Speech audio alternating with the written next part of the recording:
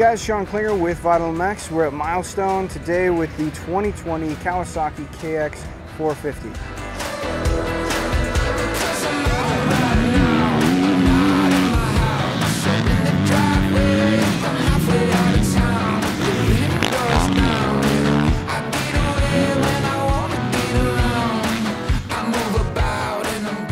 Now the difference between the, the 2019 and the 2020 bike is literally just cosmetic.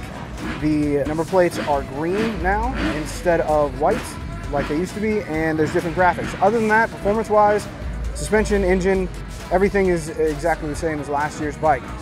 That being said, from 2018 to 2019, pretty much an all new platform for the KX450. They changed the chassis, they changed the engine, changed the cylinder and the, the head, and they changed suspension. They went from the TAC fork to now it's a 49 Showa coil spring fork, so we're really happy with that.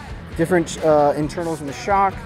Overall, the ergos of the bike went from a little bit more of a pocket seat to now taller seat or uh, more of a flat seat, so it's easier to get around on. Basically, an all new bike from 18 to 19, and then the 2020 is just kind of a, a, a re um, examination of what we liked about that bike, how it works, and kind of our predictions in going into the 2020 450 shootout.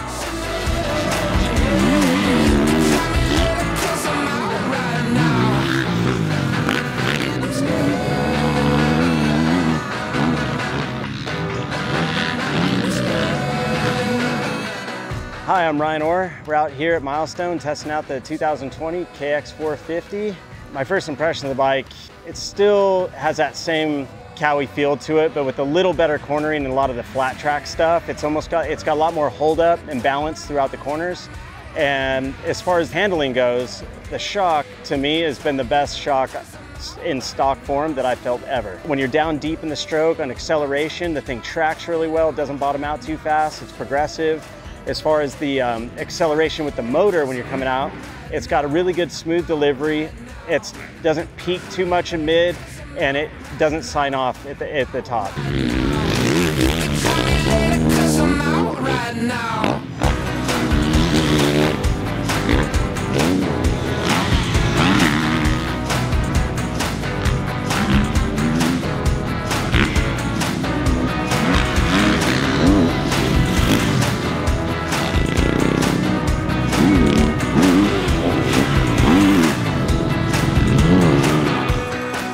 Since we just got the bike from Kawi, they, we only have the stock coupler, but they make a lean and a rich coupler to put on.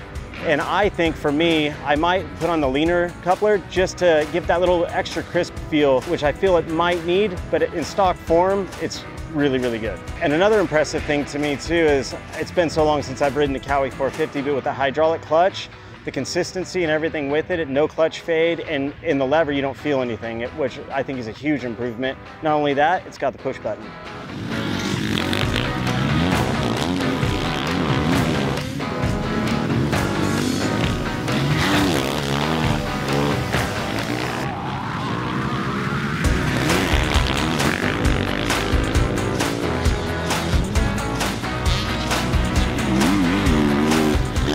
As far as anything else on the bike that I feel like could use some improvement, but we just need to make some adjustments, which could be done with just a click or two, is coming into decel bumps. I felt like the forks were a little soft and a drop down, I was right in the mid stroke and going through the braking bumps. It didn't track quite as well, but when we get to the shootout and I'm able to make some adjustments, it might cure it.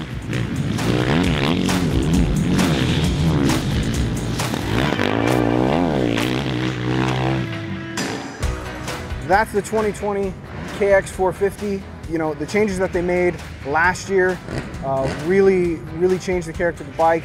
Really enjoy the way it rides. We're excited about, you know, its chances in the shootout, which is right around the corner. So if you like this video and you're on YouTube, you can click subscribe. If you're on our uh, website, vitalmx.com, you can go to YouTube to check out more videos. And thanks for watching.